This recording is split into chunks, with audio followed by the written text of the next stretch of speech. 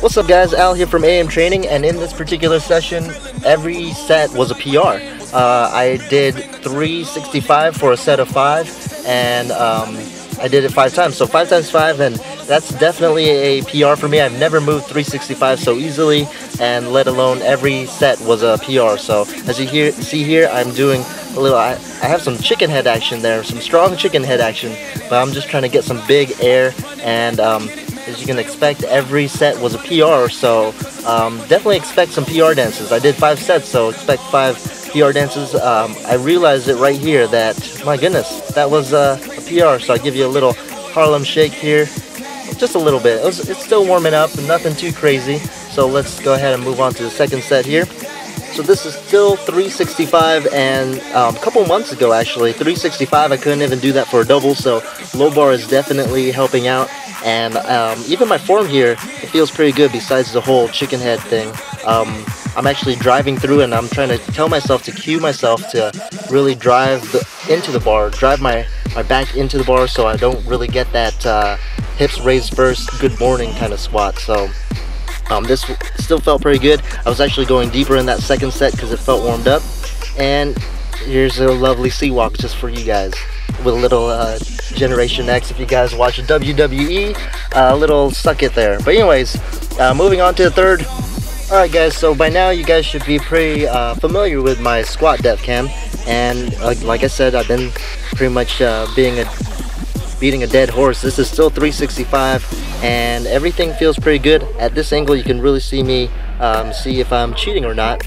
But I feel like I've been hitting pretty low and I actually feel my hammies on my calves so that's pretty good. It feels uh, pretty strong. I'm I'm kind of getting the groove back again because um, every squat before was a little bit different. Some would go really deep, some would go kind of parallel. So still uh, kind of getting the groove of this low bar and I think I'm getting the hang of it.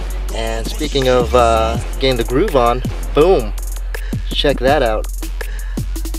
Oh yeah, you didn't know I can do that in Oli shoes. Uh, but you didn't know Oli shoes can do that. Anyways, um, I think Oli shoes definitely help out with uh, moonwalking. I'm not sure if uh, uh there's been studies on that, but let's go ahead and move on to the fourth set here.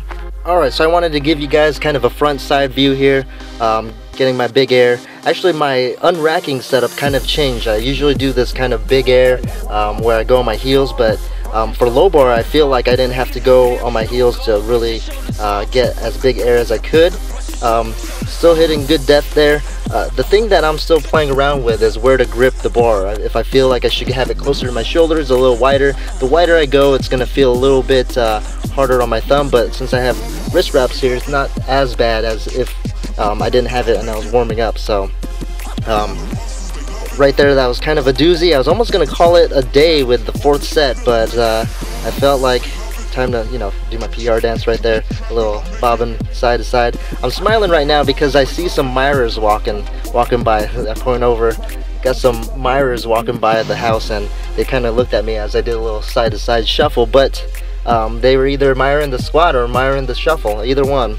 Alright and we ended off with a strong five or fifth set. Um, and like I said I was talking before is where I place my my my wrists or my hands. If I should do false grip I know Mark Rippetoe is a big fan of false grip when he does low bar. I'm still I was kind of messing around with uh, the, the width of the grip and also if I should do false grip felt a little weird but I was thinking of trying to make a tutorial on how to switch from high bar to low bar.